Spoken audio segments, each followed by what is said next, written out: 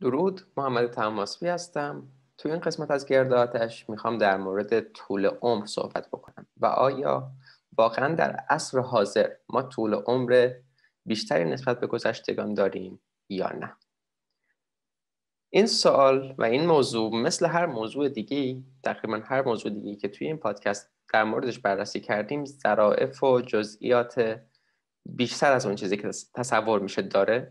و ما قصدمون این هست که به اون جزئیات بپردازیم تا مسئله رو به صورت عمقی تر و دقیق تر بفهمیم و پاسخ بهتری رو براش پیدا بکنیم و پاسخ بهتر لزوما پاسخ ساده تر نیست. اول از یه متغیر ساده آماری شروع می‌کنیم. یه متغیر بسیار رایج میانگین. بیاید فرض بکنیم که توی کلاس ما 20 تا دانش آموز داریم و از این 20 تا هلوش 6 تاشون 20 بگیرن 4 تاشون هم باز نمره های بالاتر از 15 بگیرن مثلا 16 بگیرن 17 بگیرن نمره های خوبی بگیرن. ولی بقیه 10 ده تای دیگه یا یک بشن یا دو بشن یا صفر بشن. وقتی که ما میانگین رو اینا رو با هم جمع بزنیم و تقسیم بر 20 شون بکنیم اون عددهای بسیار پایین که فراوانی زیادی دارن مثلا اون ده که از صفر یک گرفتن کل اون نمره های بالا رو هم با خودشون به پایین می‌کشن. مثلا میانگینمون ممکنه بشه چیزی مثل نه. آیا درسته که بگیم توی این کلاس هیچ نفر ده نگرفته هیچ نفر قبول نشده؟ نه. نمره اکثریتی که نمره پایین داشتن باعث شده و نمره خیلی پایینی هم داشتن. مثلا صفر و یک داشتن اون خیلی پایین بودنشون و همچنین فراوانیشون باعث شده که نمره اونهایی هم که تعدادشون هم کم نبوده اما نمره کاملی داشتن یا نزدیک به کامل داشتن با خودش پایین بکشه. ما توی قضیه حساب کردن طول عمر و نگاه کردن به طول عمرم با همین پدیده مواجه هستیم که داده های آماری رو وقتی که می‌خوان رسانه ای بکنن بیش از اون چیزی که باید ساده می‌کنن. ما باید این رو در مورد میانگین بفهمیم که اون مقدارهای بسیار پایین مخصوصا وقتی که تکرارشون بالا باشه کل مجموعه رو با خودشون پایین می‌کشن. پس مثلا اگر که بگیم شکارچی گردآورنده ها 35 سال سال نهایت عمری بوده که داشتن چون که میانگینی که برای اونها بعضا حساب کردن که حالا به این هم می‌پردازیم 35 بوده این اشتباه هست. در گذشتگان درسته که مرگ و میر کودکان به شدت بالا بوده.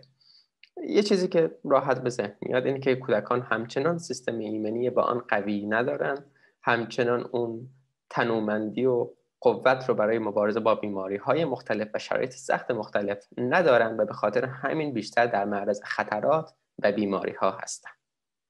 این یه مورد. پس بیماری و سختی ها می‌تونسته تاثیر بذاره اما مورد دیگه این هست که هر چقدر هم این به نظر خشن و ناگوار بیاد و شاید هم به نظر بیاد که من خیلی دارم تعریف گذشتگان می‌کنم اما نباید حقیقت ها رو در نادیده, نادیده بگیریم. ذکر این نکته ضروری هست که اتفاق بسیار رایجی در میان گذشتگان رخ می‌داده و اون هم کودک کشی بوده این فنتیساید یعنی بسیاری از مرگ و میر کودکان نه به خاطر بیماری بلکه به خاطر این بوده که افراد قبیله اونها رو میکشتن. و مثلا به خاطر اینکه می‌خواستن کوچ بکنن اینها رو میکشتن که از دست و پاگیر نباشن. یا اگر کودکی بیمار بوده اون رو میکشتن.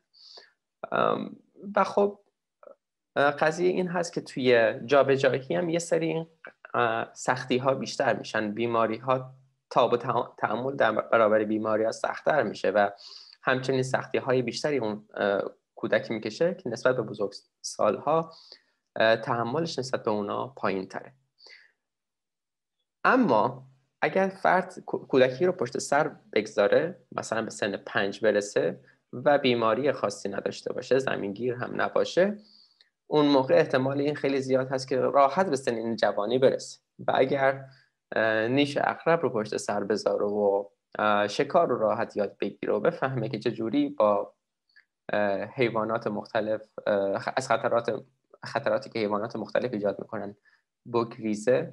یعنی جزی از گروه بشه اینها رو حتما نباید به عنوان یه فرد یاد بگیره به عنوان یه فردی از گروه. کسی که اینها رو پشت سر میذاشته شانس بخاش به شدت افزایش پیدا می‌کرده.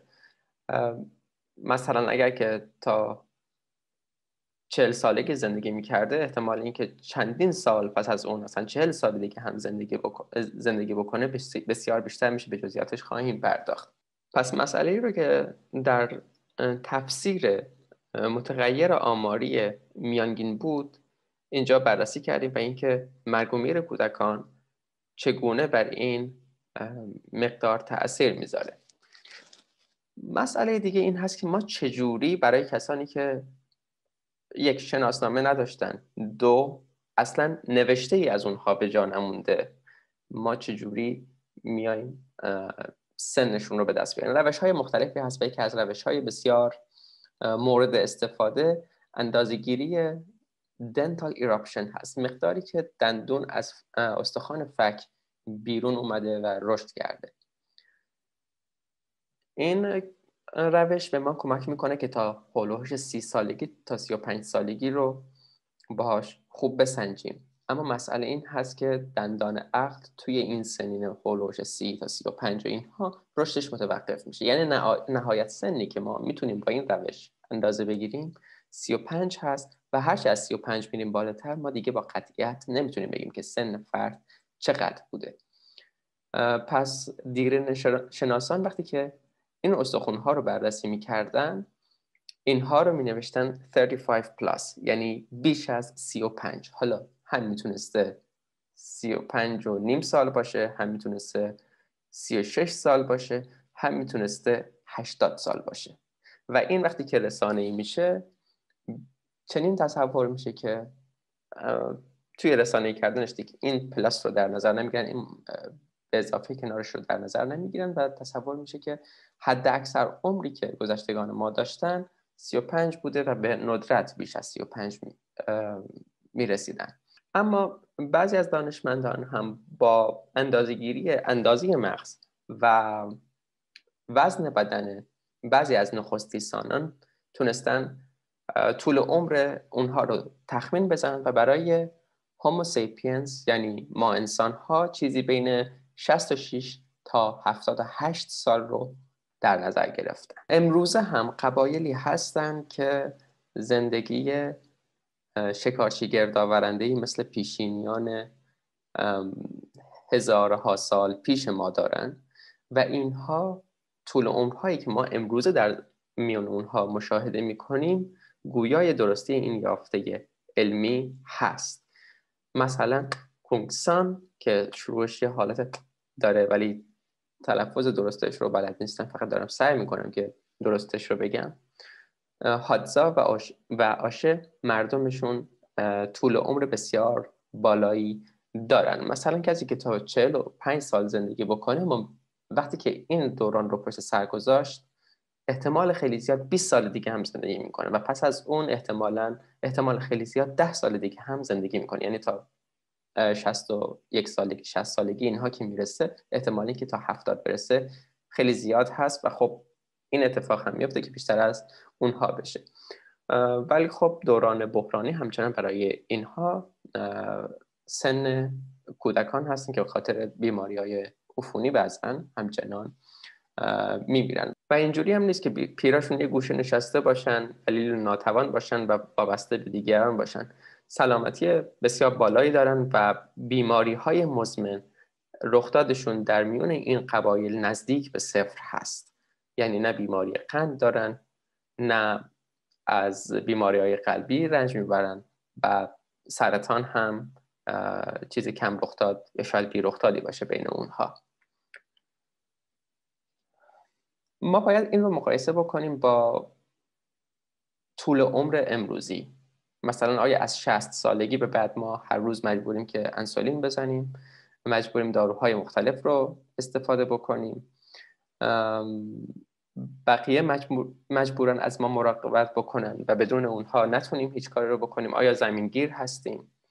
آیا مثلا اگر چهار سال چهار سال به طول عمرمون افزوده بشه اون چهار سال چهار سالی پر از درد و رنج هست چهار سالی هست که با کیفیت هست. شرکت های دارویی و پزشکی تاکید عمدش بر اساس افزایش طول عمر هر قیمتی هست. هر درد و رنجی هم که فرد متحمل باشه براشون شاید خیلی اهمیتی نداشته باشه و شرکت های دارویی با از این طریق که پزشکان داروهای خیلی زیادی رو برای این افراد تجویز می‌کنن سودهای کلانی رو به دست میارن. پس به نفع این شرکت ها نیست. که علم پزشکی به سمتی رو بیاره که مصرف این داروها کم بشه. یعنی مشکلی که ما در زندگی امروزی باهاش مواجه هستیم بیماری های مزمن اونها اگر ریشهکن بشن بسیاری از این شرکت ها واقعا در معنای واقعی به ورشکستگی می‌رسن. ما اومدیم انسان امروزی رو با انسان های بسیار گذشته های بسیار دور مقایسه کردیم و همچنین شواهدی هم از قبایل همچنان دور از تمدن امروزی داریم که درستی یافته ها رو تایید می‌کنن.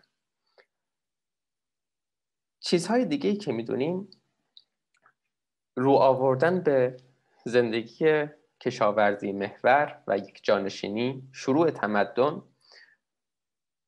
با وجودی که همیشه میگیم ظهور تمدن و از القاب مثبت براش استفاده می‌کنیم متمدن برامون یه صفت تعریفی هست و تجلیلی هست اما نامتمدن و بیتمدن برامون آر حساب میشه و یه توهین حساب میشه. تمدن بسیار مشکلات رو با خودش به همراه آورده. مثلا وقتی که ما یک جانشینی روی آوردیم به جای اینکه بر برپایی گوشت های حاصل از شکار که بسیار مغذی بودن زندگی بکنیم بیشتر رو میاریم به غلات و برنج و غذاهای گیاه محور که آنچنان قوتی رو نداشتن. ولی این به ما کمک کرد که یک کمیتی از لحاظ تعداد افراد داشته باشیم.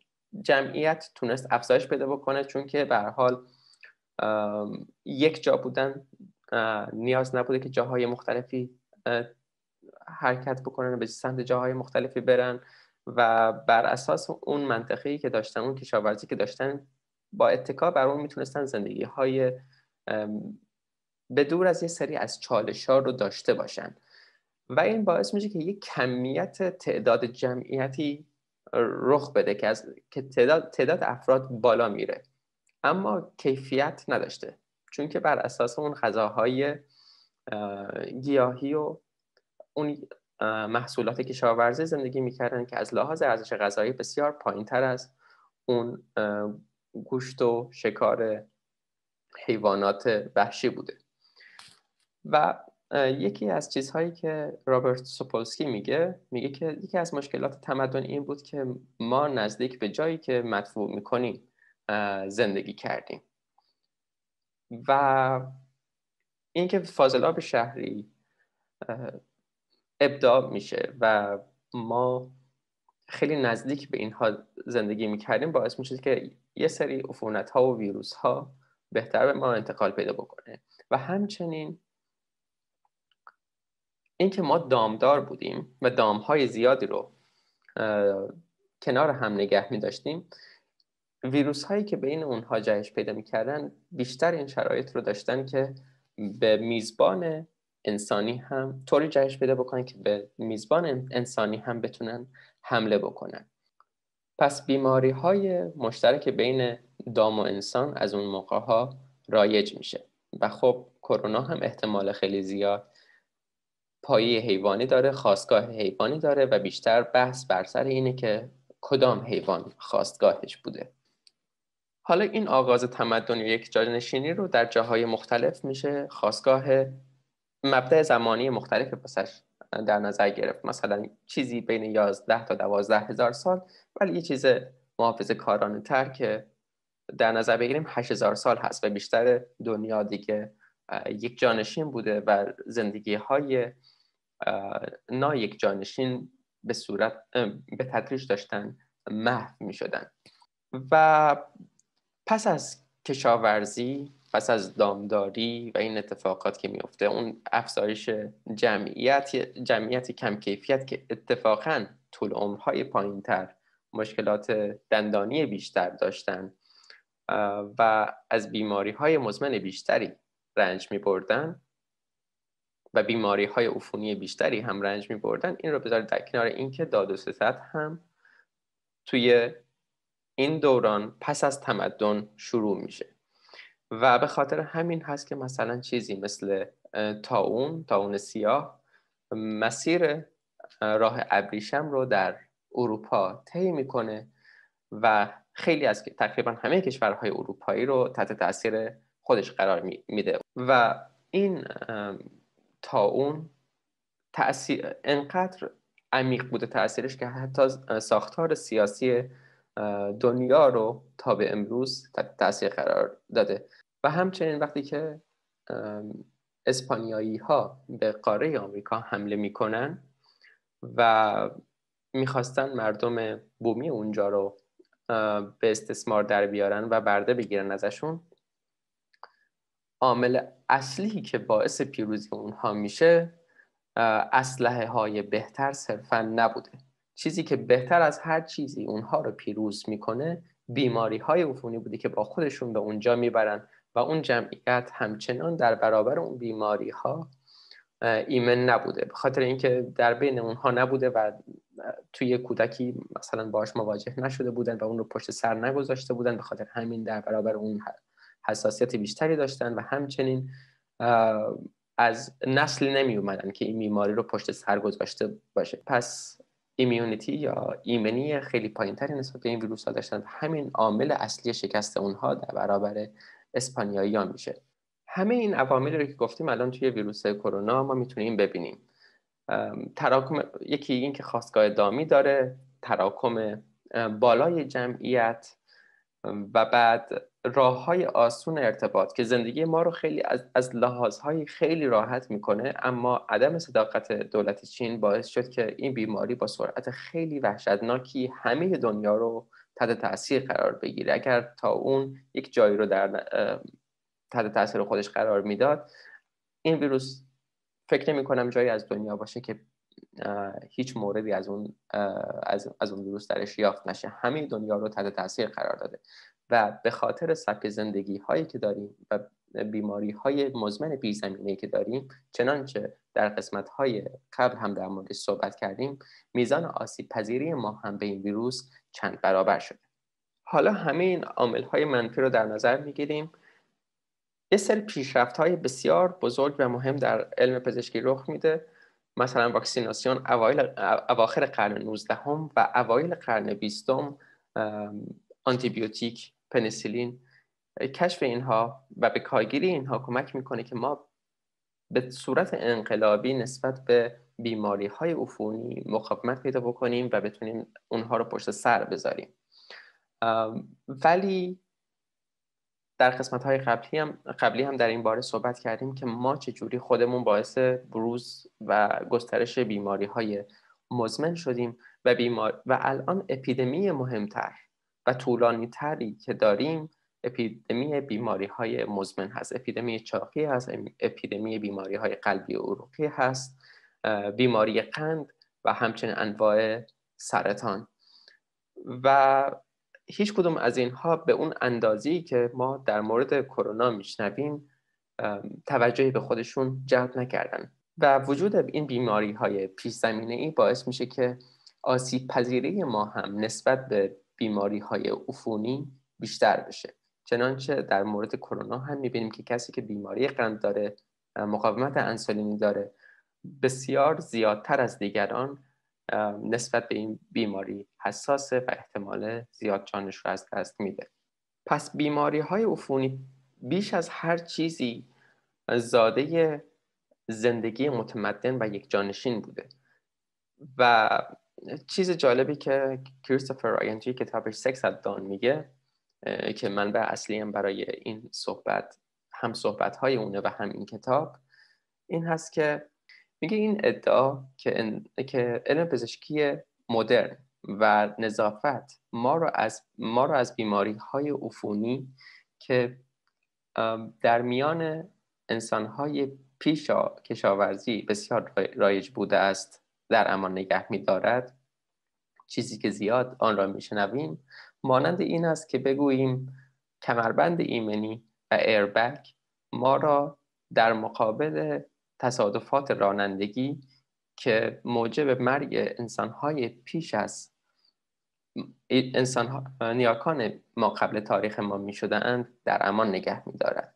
یعنی واکسیناسیون و آنتیبیوتیک سعی کردن تا حد زیادی مشکلی رو که خود تمدن ایجاد کرده بود تونستن رفع بکنن. بیماری های عفونی اگر که توی یه قبیله توی یه جای دور افتاده در دنیا با اون جمعیت کم در, زم... در زمانهای ما قبل تاریخ پیش از تمدن رخ می‌داده توی همون جمعیت حتی اگر همه اونها رو میکشته به جای دیگه انتقال پیدا نمی‌کرده. یا اگر میون اونها بوده یه سری به حال بقا پیدا می‌کردن به زندگیشون ادامه می‌دادن و به جاهای دیگه ای نمی‌رسیده چون که اون ابزار رو نداشتن که به اونها سرایت بکنه. یعنی اون ابزار حمل و نقل اون وسیله حمل و نقل رو نداشتن. و همچنین جمعیت اینچنین متراکم نبوده که حتی با زنجیره انسانی انسانی رو هم ما امروزه به هم وصل بکنیم همه مردم دنیا به هم وصل میشن. از بس که جمعیت زیاده و نیازی هم آنچنان به وسایط نقلیه نیست برای رسیدن یک ویروس به جای دیگه. شکی در این نیست که ما با واکسیناسیون و آنتیبیوتیک تونستیم بر بیماری هایی که منشأ ویروسی داشتن تا حد بسیار زیادی و به طور بسیار موفقیت آمیز فائق بیایم. اما چیزی که همچنان باقی موند بیماری های مزمن بود اما چیزی که همچنان باقی موند و بیش از پیش شدت یافت بیماری های مزمن بود. نه تنها ما اینها رو درمان نکردیم بلکه با توصیه های غلط با توصیه هایی که منطق سود پشتشون بود اونها رو بیش از پیش شایع کرد. در قسمت های قبلی در مورد کلسترول و اینکه چجوری به جای اینکه قند بدنام بشه که لایقش بود کلسترول که لایق بدنامی نبود بدنام شد صحبت کردیم. این یه مثال از اون هست. پیشنهاد پیشنهادات غلط پیشنهادهای غلط پزشکی که باعث شدن مصرف کربوهیدراتمون رو بالا ببریم و از مصرف گوشت دور بشیم و خودمون رو از این منبع سرشار از پروتئین و مواد مغذی محروم بکنیم و خودمون رو بیشتر در معرض بیماری قرار بدیم. توصیه مداوم به مصرف روغنهای سرخ کردنی به عنوان روغنهایی که آری از کلسترول هستند و سلامتی ما رو بالا می‌برند باعث شد که بیش از هر چیز بیش از هر زمان دیگه ای به مقاومت انسولینی دچار بشیم دچار چاقی بشیم دچار بیماری های قند و همچنین قلبی و عروقی و آلزایمر بشیم. و بیماری های مزمن ریشه در تغذیه ما دارند ضعیف بودن سیستم ایمنی ما و بیماری های خود ایمنی و بیماری هایی که با سیستم ایمنی درگیر هستند ریشه در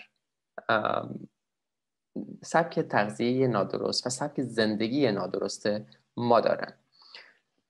ما به پیشرفت های بسیار مهمی دست یافتیم واکسیناسیون آنتیبیوتیک و همچنین در زمینه رشد جمعیت توی فکر می‌کنم کمتر از یک قرن اخیر تونستیم بارداری رو خوب کنترل بکنیم از زایمان های ناخواسته جلوگیری بکنیم و اینها موفقیت های بسیار بزرگی بوده. ولی در زمینه تغذیه راه بسیار اشتباهی رو رفتیم و در راه اشتباه هرچی بیشتر پیش بریم دورتر خواهیم شد از مسیری که از مقصدی که در نظر داریم.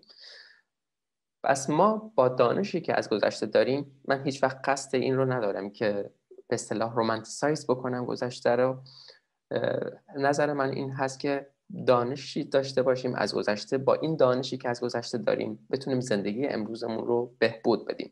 این ایمان که با گذشت زمان ما لزوما پیشرفت می‌کنیم و فناوری ما رو نجات خواهد داد دیدگاه بسیار کوته فکرانه و اشتباهی هست و بسیاری از عوامل رو در نظر نمی‌گیره. فراموش می‌کنه اینکه منشه ما گونه ما چجور گونه ای هست و نیازهای اساسی ما رو به عنوان یک گونه چه نیازهای احساسی یعنی تا نیاز ما به جزی از یک گروه بودن رو نادیده می‌گیره و هم نیازهای تغذیه ما رو نادیده می‌گیره و سبک زندگی سالم ما رو نادیده می‌گیره و ما رو هم در برابر استرس های قرار میده که هیچ وقت با اونها روبرو نبودیم. اینکه یه معمور